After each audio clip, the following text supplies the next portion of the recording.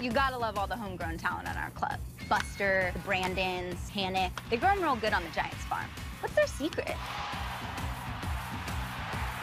Must be something in the dirt. Or maybe it's the California sunshine.